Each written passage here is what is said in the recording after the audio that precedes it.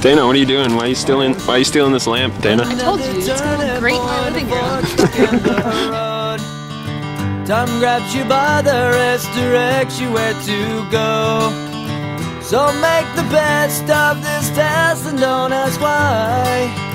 It's not a question, but a lesson. So let's, Jim. That was a good kick for like a, a girl horse. I don't know, like a maybe pony. All right, so let's try again. Ready? Do you want me to still saying anything? Yep, you can say whatever you want. You get you get some license on here. This one. Three, two, one. Oh, shite!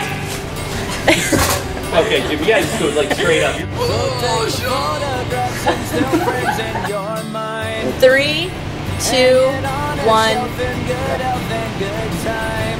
Bull! Tattoos and memories and their skin on trial. That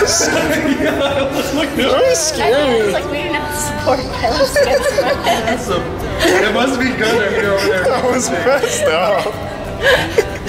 That was good. All right. I got scared. Okay. Don't you get it? Fuck, Why do I get? It's okay. No, I get into it. I just want to like, get it, I'll kill everybody. oh god, you're still recording, aren't you? Good bloopers. Anger. Confusion.